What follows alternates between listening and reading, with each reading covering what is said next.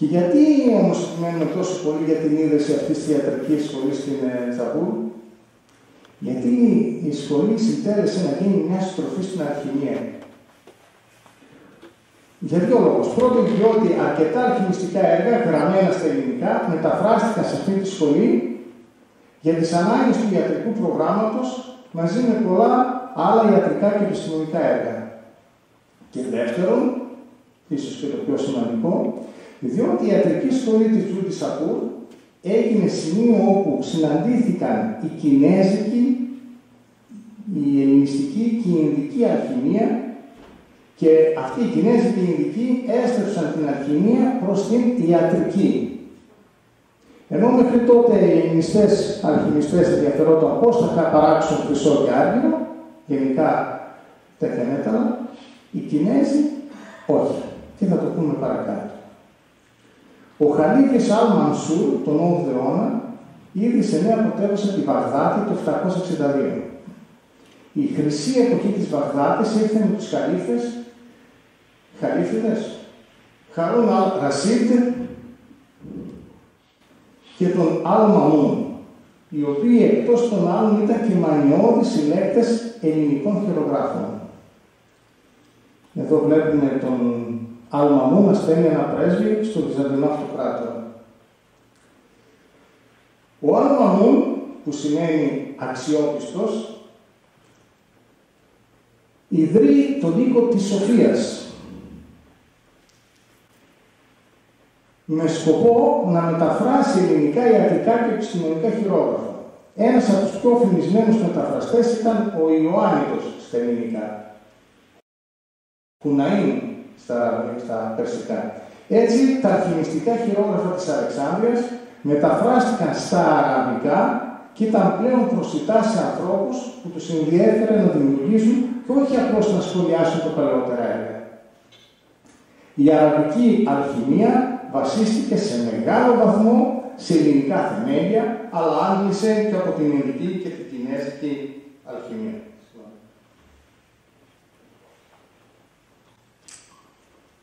Τι γίνεται τώρα στην Κίνα; Η χημεία στην Κίνα αναπτύχθηκε από τα πρώτα χρόνια του Κινέζικου πολιτισμού.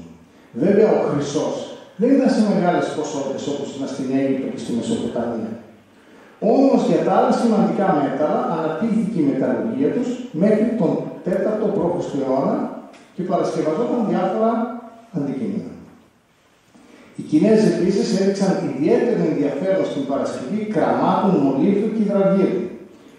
Εκεί όμως που ήταν ανυπέρβλητοι ήταν στην κατασκευή τι άλλο, πορσελάνιων αντικειμένων. Ω προς την ερμηνεία του κόσμου, από τα προημότερα χρόνια διατυπώθηκε η θεωρία ότι τα πάντα αποτελούνται από τη σύνδεση πέντε στοιχείων μέταλλο, ξύλο, γη, νερό και φωτιά. Μοιάζει με τα του Εμπεδοκλίνου.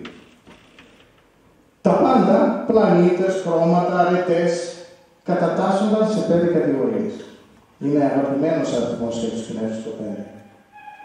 Όμως αργότερα εμφανίστηκε μια άλλη θεωρία. Η θεωρία των δύο αντίθετων του Γιν και του Γιάννη, των οποίων η αναλογία δημιουργεί τα πέντε στοιχεία και από τα πέντε στοιχεία δημιουργείται όλο ο υπόλοιπος κόσμος και η πολυμορφία του.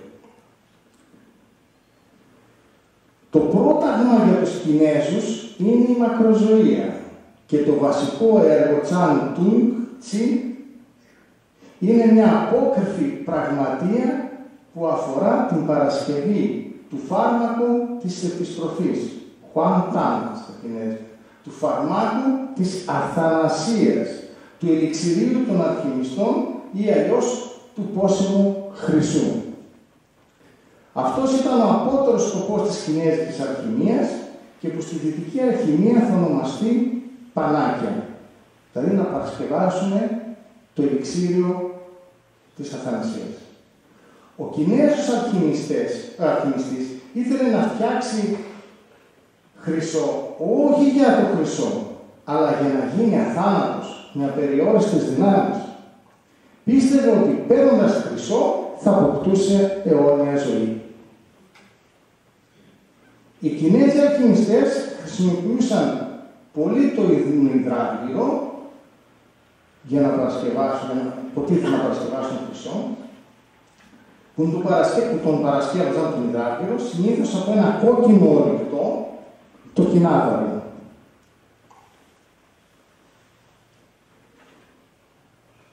Και το αντιμετώπιζαν οι Κινέζοι αλχημιστές με μεγάλο σεβασμό και κάποιες περιόδους με μεγαλύτερο και από τον ίδιο το χρυσό. Γιατί εφόσον δεν ήταν ο ίδιος ο χρυσός που τους ενδιαφέρει, αλλά το να κάνουν το ελιξίδιο της ζωής, εννοείται οτιδήποτε έκανε το ελιξίδιο της ζωής ήταν σημαντικό πιο πολύ από το χρυσό.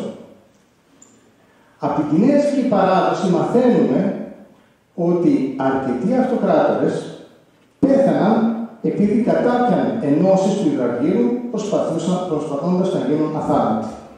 Δηλαδή κάνανε μια δίαιτα με κοινάβα ή ξέρω με κάτι άλλο και τελικά έγιναν πράγματι αθάνατοι και έμειναν στην ιστορία. Όμως τελικά η κινέζικη αλχημία έπεσε σε τέλμα και δεν κατάφερε να εξελιχθεί εξαιτίας των δυστυχημιών που επικράτησαν σε αυτήν, αλλά και γενικά του συντηρητικού χαρακτήρα της κινέζικης κουλτούρας. Πάμε τώρα να δούμε τι γίνεται με τους Άραβες. Οι ρίζες της Αραβικής Αλχημίας βρίσκονται στην ελληνιστική επιστήμη. Τα ελληνιστικά αλχημιστικά χειρόγραφα ήρθαν στους Άραβες από την Αίγυπτο, την Συρία και την Περσία. Επίσης, οι ιδέες των Αράβων του 10ου αιώνα επηρεάστηκαν και από ιδέες που προέρχονταν από την Κίνα. Ουσιαστικά συνεχίζουν την μαγική ελληνιστική παράδοση της τελευταίας περίοδου. Ο διασημότερος Άραβας αλχημιστής ήταν ο Τζαμπίρ Ιμπν Χαγιάν, που έζησε τον 8ο με 9ο αιώνα. Φημολογείται ότι έγραψε περί τα 2.000 έργα, μάλλον απίθανο, και έφερε μεγάλη εκτίμηση τόσο στην Ανατολή όσο και στη Δύση. Τέλεια του έφτασαν στη Δύση με το όνομα Γκέμπερ και άσκησαν μεγάλη επιρροή. Ο Τζαμπίρ γενικά εμφορείται από αριστοτελικές ιδέες, τις οποίες συναντάμε στους ακτιμιστές της Αλεξάνδρειας, αλλά και διαφοροποιείται κιόλας από αυτό. Θεωρεί ότι ένα μέταλλο μπορεί να μετατραπεί σε χρυσό με τη χρήση ενός ελιξίριου, κάτι που πίστευαν και οι Κινέζοι. Δηλαδή βλέπουν οι Κινέζικες ιδέες εισβάλλουν στην ελληνιστική αλχημία. Η λέξη τώρα ελιξίριο προέρχεται από την αραβική λέξη el-iξίρ, πιθανώς αραβοποίηση της ελληνικής λέξης ξηρίων, που σημαίνει φαρμακευτική σκόνη. Άλλο που πάμε είναι το άθρο και μετά πάει αυτό. Η πρόοδος στην αλχημία ήταν πολύ σημαντική. Θα μπορούσε να θεωρηθεί ότι έκανε βήματα στην πραγματική χημία. Οι έρευνε του του Τζαβίρ, τον οδήγησαν στα όρια της κατανόησης της χημικής αντίδρασης. Δηλαδή στο τι είναι ένα χημικό φαινόμενο. Αυτό που λέγαμε στο προηγούμενο μάθημα ότι το περθέρουμε ακόμα και σήμερα. Το μυστικό της επιτυχίας για τον διαχωρισμό των πρωταρχικών στοιχείων ήταν η ακριβής επανάληψη. Ακούστε τώρα. Παραδείγματος χάρη. Για να παραχθεί μια ποσότητα καθαρού κρύου, γιατί πιστεύω ότι το μπορούν να παράξουν σκέτο κρύο, σκέτο ζεστό κλπ. Διαβάζουμε σε μια συνταγή τα εξής.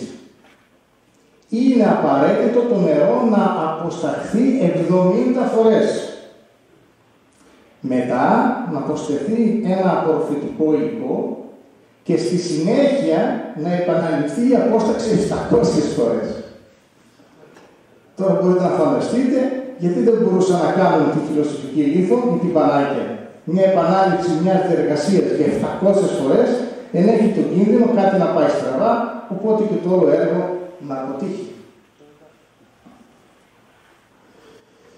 Για να εκτελεστούν τώρα οι περίπλοκες, ε, περίπλοκες συνταγές της συλλογής των χειρογράφων Τζαμπίρ, απαιτούσε την κατασκευή νέων πολυσύνθετων συσκευών. Μετά τη στασιμότητα πολλών αιώνων, την Αλεξανδρινή ακόμα εποχή, τώρα πλέον έχουμε ένα νέο κύμα συσκευών που φτάνουν μερικές μέχρι και τα νεότερα χρόνια. Ο Τζαβίρ βρίσκεται κάτω, τώρα κάτι από τη μικρή ιστορία. Ο Τζαμπέρ βρίσκεται κάτω από την προστασία του Τζαφάρ, σας θυμίζει τίποτα, θα ακούσετε. Του Βεζίρι, του Χαλίφη, ποιον, ποιος, ε, διαβάσατε τον Ισμαγκούτ. Πάλι, Ο Τζαμπέρ βρίσκεται λοιπόν κάτω από την προστασία του Τζαφάρ. Ο Τζαβάρ, ο Βεζίρης, τον ενθάρρυνε να συνεχίσει τα πειράματά του και το συγγραφικό του έργο. Η ζωή όμως στην αυλή του Χαρούν Αλ Χασίδ, ίσως ο πιο σπουδαίος ε, χαρίφιδες της Βαγδάτη, όπου βασιλεύει η δολοπροκία, ήταν επικίνδυνη υπόθεση. Όταν ο Τζαφάρ έπεσε σε δυσμένεια και εκτελέστηκε, ο Τζαμπίρ αναγκάστηκε να καταφύγει για ασφάλεια στο χωριό του. Και εκεί έζησε την υπόλοιπη ζωή του συγγράφοντας το κορυφαίο έργο του, «Ο ήλιος της τελειότητας», το οποίο συνιστά μια εκτεταμένη ανασκόπηση όλων των αλχημιστικών χημικών του γνώσεων. Από αυτό το βιβλίο μαθαίνουμε εμείς μέχρι τότε τι γινόταν. Πόσο σημαντικό είναι αυτό. Ένας άλλος σημαντικός Άραβο αλχημιστή ήταν ο Αμπού Μπακ Αλ Ραζί, τον 10ο αιώνα. Ήταν ένας από τους μεγαλύτερους μουσουλμάνους γιατρούς. Αυτός είναι που παρασκεύασε τον ιατρικό γύψο και μας έδωσε οδηγίες για τη χρήση του και τη δημιουργία ανάθηκα στα κατάγματα των πάνω και κάτω άκρων. Στα έργα του πραγματεύεται ιατρικά ζητήματα, αλλά και ενδιαφέρεται πάρα πολύ για τη χημεία. Εκτός από φημισμένος γιατρός, ήταν και φιλόσοφος και αλχημιστής, ο οποίος έζησε κατά την Ισλαμική Χρυσή Εποχή. Είναι επίσης γνωστός για την κριτική του στη θρησκεία, ειδικά όσον αφορά τις έννοιες της προφητείας και της αποκάλυψης. Στα έργα του που αφορούν τη χημεία, διαπιστώνουμε μια επιστημονική πρακτική προσέγγιση που δεν υπήρχε μέχρι τότε. Η συμβολή του Αλαραζή ήταν καθοριστική για την εξέλιξη της χημίας ως επιστήμης τα επόμενα 500 χρόνια. Το πιο σημαντικό του έργο είναι το Secretum Secretorum, που σημαίνει το μυστικό του μυστικού, το, το μυστικό των μυστικών. Αν και πίστευε στη μεταστοιχίωση, τα βιβλία του είναι επιστημονικά απαλλαγμένα από τις δαιμονίες και αλληγορίες. Όμως ο ίδιος έπεσε θύμα της ικανότητάς του ως εργαστηριακός και τυφλώθηκε. Για να ακούσουμε την ιστορία. Ο Αρώναζη λοιπόν συνέγραψε μια πραγματεία περί αλχημίας και την αφιέρωσε στον Εμμύρη του Χωρασάν. Ο Εμμύρης ζήτησε από τον Οραζή να εκτελέσει δημόσια ένα πείραμα που θα καταδείκνυε τον τρόπο λειτουργίας της μεταστοιχίωσης. Ο αλχημιστής μάταια προσπάθησε να τον αποφύγει, λέγοντας ότι οι συσκευές κόστησαν ολόκληρη περιουσία, χρειάζονται ε, υπαλλήλους χρειάζεται το ένα χωρί το άλλο. Όμω ο Εμμύρε επέμενε δίνοντάς του αμοιβή χίλια τεμάχια χρυσού και το πήραν. Ο Αλαγαζή αφιέρωσε ώρες επιωρών ανάμεσα στα φωνευτήρια, άμυκε, σκριβάνου, συσκευές, όμως τελικά με ενθουσίαση δεν έγινε. Εξοργισμένος ο Εμμύρη παίρνει το βιβλίο του Αλαγαζή και άρχισε να χτυπά στο κεφάλι με μεγάλη μάνια. Εξαιτίας αυτών των χτυπημάτων, ο καημένος Αλαραζή τυφλώθηκε τα τελευταία χρόνια της ζωής του, που κύλησαν μέσα στην ένδια και την αφάνεια. Ο Αλαραζή πέθανε πάνω από 80 χρονών, το 1930, είναι ιστορικό πρόσωπο, και θεωρήθηκε ένας από τους λαμπρότερους επιστήμονες του αραβικού κόσμου. Την εποχή αυτή ανακαλύπτονται τα καυστικά αλκάλια και τα οξέα, που προέρχονται από ξύδι, το ξινόγαλο, το χυμό του λεμονιού και όπως και πολλά άλλα του αμμονίου και των αλκαλίων. Δεν μπαίνουμε σε λεπτομέρειες. Και τέλος, περνάμε σε μια πολύ σημαντική προσωπικότητα. Πρόκειται για έναν φημισμένο Άραβα γιατρό, ο οποίος αμφέβαλε για την πραγματικότητα της μεταστοιχίωσης και άκουγε στο όνομα Αμπού Αλή Αλ Χουσίν Ιμπν Αμπταλάχ Ιμπν Σινά. Ξέρετε ποιος είναι; Ακούω. Ποιος είναι αυτός; Πώς το λέμε στα ελληνικά; Αδικαίος. Δεν είναι άλλος από τον Πέρσι Αβικένα, ο μεγαλύτερος γιατρός του μουσουλμανικού κόσμου, αλλά και όλου του κόσμου της εποχής εκείνης. Όμως συγχρόνως ο μεγαλύτερος μουσουλμάνος διανοητής, φιλόσοφος, φυσικός, πολιτικός και αλχημιστής. Ένας πραγματικά όμο universalis. Τα έργα του καλύπτουν κάθε τομέα της φυσικής επιστήμης και μελετούνται και στην Ανατολή και στη Δύση επί έξι αιώνες. Ο Αβικένας γεννήθηκε το 1980 στην Σαμαρκάνη. Σπούδασε στο Ισπαχάν και την Τεχεράνη και έφτασε στο αξίωμα του Βεζίρι. Δεν ήταν δηλαδή απλώς άστοιχε. Ο Αβικένας βίωσε μια πολυτάρχη ζωή. Πάνω από μια φορά διέφυγε παρατρίχα του θάνατο, έπεσε θύμα παγωγών για λίτρα, πέρασε αρκετές περιόδους της ζωής του στα κουντρούνια ή φυγάς, απέκτησε μεγάλη φήμη, πλούτη, αμέτρητες γυναίκες και αναρρύθμιτες συζύγους. Αν και το Ισλάμ απαγορεύει το κρασί, ο Αβικένας είχε εμφραθεί πολλές φορές από εξαιρετικά κρασιά. Διετέλεσε εξαίρετος γιατρός και υποστήριξε ότι τα ορεικτά και τα χημικά φάρμακα είναι πολύ ανώτερα από τα βόταρα και τις δυσδαιμονίες που επικρατούσαν στην εποχή του. Είχε δε συντάξει ένα μακρύ κατάλογο χημικών ουσιών που μπορούσαν να χορηγηθούν ως φάρμακα σε διάφορες ασθένειες. Όντας βεζίρης του, του Σάχη της Περσίας, υπέπεσε όμως σε δυσμένεια αλλά κατόρθωσε να σωθεί κρυβόμενος. Όταν ο Σάκης όμως αρρώστησε βαριά και οι γιατροί περίμεναν το θάνατό του, εμφανίζεται στην ευλογή, στην Εαυλή και με τις επιστημονικές του και χημικές του γνώσεις σώζει τον Σάκη. Όμως δεν ευτύχησε να παραμείνει πολύ στον θόρο, στο θόκο του Βεζίρη, διότι κατά τη διάρκεια του πολέμου οι Πέρσες χάνουν και ο Αβικένας βρίσκεται λάφυρο στους εχθρούς. Δεν ήταν κάτι παράξενο εξάλλου, το είδαμε και μετά το δεύτερο παγκόσμιο πόλεμο, στο πώς συμπεριφέρθηκαν οι Αμερικανοί και οι Σοβιετικοί στου Ναζί επιστήμονες. Ο Αφρικένας πέθανε το 1037, μάλλον από δηλητήριο. Οι περισσότερες χημικές παρατηρήσεις του βρίσκονται στο βιβλίο, το βιβλίο της, θερα, της θεραπείας. όχι. Εδώ μετά αυτό εδώ το βιβλίο της θεραπείας. Στους αμέσως επόμενους αιώνες το έργο του Αβικένα έμενε να είναι το ιατρικό κείμενο με τη μεγαλύτερη απήχηση στην Ευρώπη και επιτέλεσε το ρόλο του προδρόμου της σύγχρονης φαρμακευτικής επιστήμης. Τον προβληματίζει η δυνατότητα της μετουσίωσης, κάτι που δεν υπάρχει στους προηγούμενους αλχημιστές. Η γνώμη αυτή φτάνοντας στη Δύση ουσιαστικά αλλάζει την πορεία της αλχημίας και την οδηγεί σε ένα επιστημονικό δρόμο. Ο Αβικένας, όπως και άλλοι άρετες αλχημιστές, που είχαν επιστημονική ματιά, κατοικούσαν στο ανατολικό τμήμα του μουσουλμανικού κόσμου και πολλοί, αν όχι περισσότεροι, ήταν Πέρσες, ενώ ο πιο μυστικιστικός κλάδος της αλχημίας προέρχεται από την Αίγυπτο. Τους επόμενους αιώνες, από τον 11ο μέχρι τον 13ο, γράφτηκαν πολλά βιβλία και ερμηνευτικά σχόλια στα παλαιότερα κείμενα, αλλά στην ουσία ό,τι υπόθηκε, υπόθηκε τον 10ο αιώνα από τους μεγάλους αλχημιστές της εποχής, στους οποίους αναφέρω. Από τον 11ο αιώνα γίνεται μια σημαντική θρησκευτική στροφή στον μουσουλμανικό κόσμο, όπου επικρατεί το δογματικό ορθόδοξο Ισλάμ. Ενισχύεται ο μυστικισμός και πάβει η φιλοσοφική έρευνα.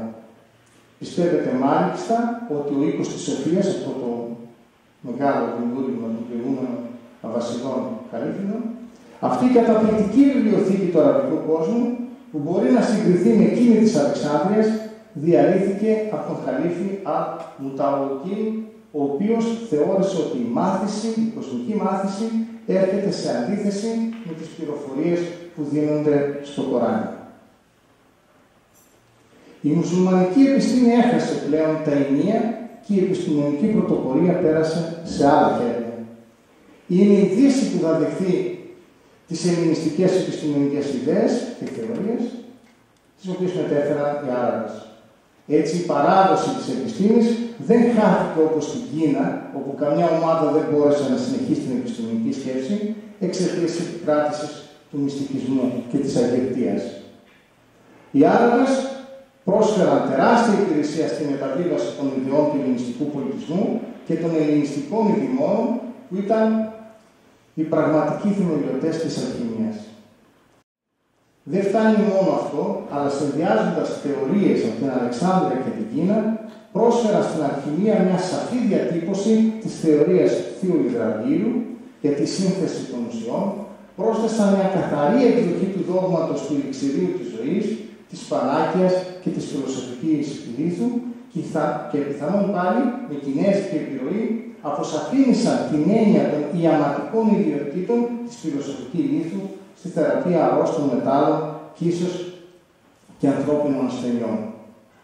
Τώρα, από πρακτική πλευρά, ανακάλυψαν το αμμονιακό άρας, τα καυστικά αλκάλια, τις ιδιότητες των ζωικών ουσιών και τη σημασία τους στη χημεία. Επίσης, εφήβραν τη μέθοδο της καταστρεπτικής απόσταξης και την έβρεση των εσκάτων συστατικών των ουσιών. Η χημεία οφείλει στους Άραβες αλχημιστές πολύ περισσότερα από όσο τους αναγνωρίζεται συνήθως. Η συμβολή τους στην εξέλιξη της επιστήμης ήταν από τις σημαντικότερες.